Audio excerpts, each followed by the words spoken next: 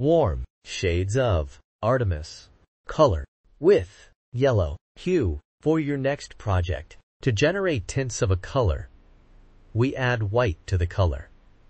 And tints creates light and exquisite emotions.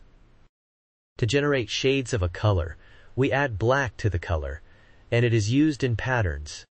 3D effects, layers and shades create depth and drama.